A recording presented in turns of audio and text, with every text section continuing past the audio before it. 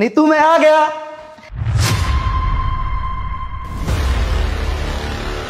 Pregnant है? मैं तो दो साल बाद आ रहा हूँ घर पे।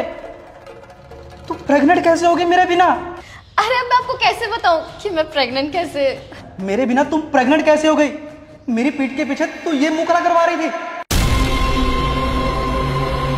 मैं सरहद पे ड्यूटी देता हूँ देश की रक्षा करता हूँ और मैं इसी आस में था कि जब मैं रिटायर हो जाऊँगा हम दोनों हँसी खुशी अपनी ज़िंदगी बिताएँगे। तुम्हारे पास तो घर में सब लोग हैं ना? लेकिन मेरे पास सिवाय तुम्हारी यादों के कुछ भी नहीं था। तुम्हारी फ़ोटो को अपने सीने से लगा के सोता था मैं। मैंने ये सोचा था कि इस बार मैं छुट्टी पे जाऊँगा। हम दोनों अपना बच्चा प्लान करेंगे। लेकिन तू तू अपने पेट में किसी और का बच्चा पाल रही है। अरे पर क्या पर? अगर तुम इन चीज़ों के बिना नहीं रह सकती थी तो बोल देती ना कि मैंने फौजी के साथ शादी नहीं करनी है। मुझे एक नॉर्मल इंसान चाहिए जो हर वक्त तुम्हारे साथ रहे, हर रात तुम्हारे साथ बिता सके।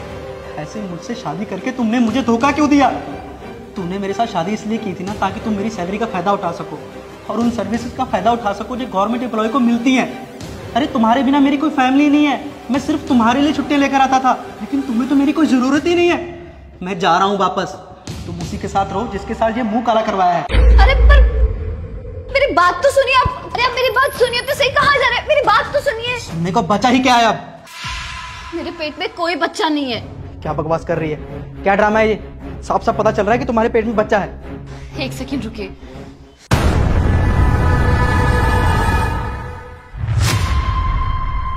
मेरे पेट में बच्चा नहीं बल्कि ये तकिया था। मैं आपके साथ मज़ाक कर रही थी। सोचा आपके साथ प्रैंक करती हूँ। क्या?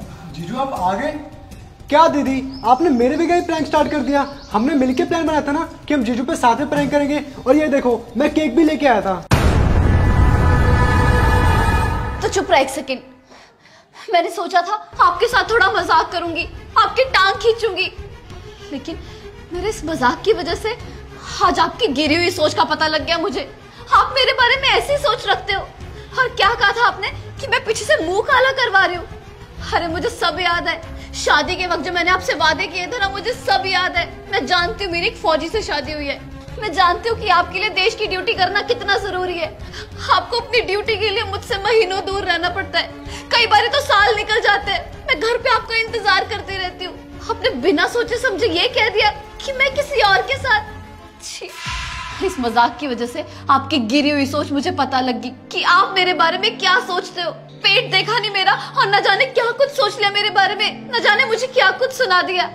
थोड़ा सा तो भरोसा किया होता मुझ पे। मैं तुम्हारी बीवी हूँ। लेकिन नहीं, तुमने मुझे बोलने तक का मौका नहीं दिया। और न जाने मेरे बारे में क्या कुछ सोच लिया। आज आपने शक करके ना मेरा दिल तोड़ दिया सच में।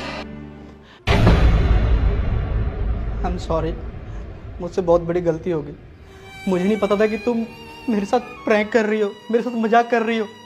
और मैंने बिना सोचे समझे तुम्हें कितना कुछ बोल दिया, कितना कुछ सुना दिया। मुझे माफ़ कर दो, मुझसे बहुत बड़ी गलती हो गई।